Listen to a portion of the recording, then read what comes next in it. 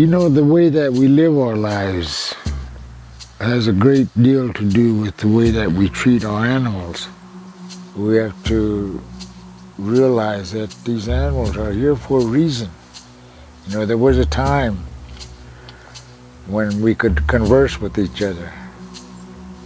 I got to know the land in a way that I could not otherwise have known it. You're riding the horse, there's this living motion under you, and it is striking the earth, that's bringing the energy of the earth up into you. It's a wonderful experience, and I, I, I wish everybody could have that. They were free to range a thousand miles in every direction, elevated to a height from which they could see the far world. So they were cut free of the ground, and uh, they did become, in a, in a real sense, um, centaurs. The horse and the man were one entity. It enabled them to reach the, the pinnacle of their culture.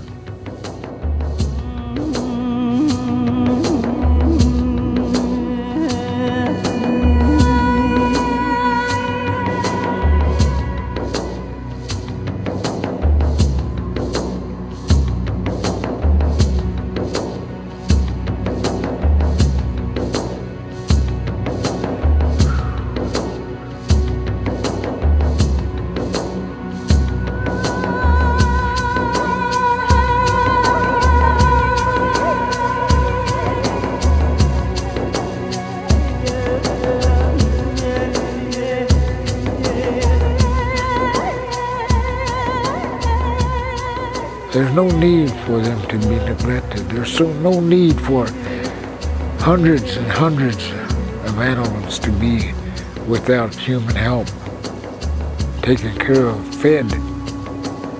That's why they're here. We have to take care of Mother Earth. It, it hurts. It hurts to see this. You know, it's. I want my grandkids to see uh, a wild herd of buffalo, a wild herd of horses running free. You know, people don't understand, you know, that, that that's more important than money. You know, that's, that's good for the soul. It makes people happy to see wild things run free.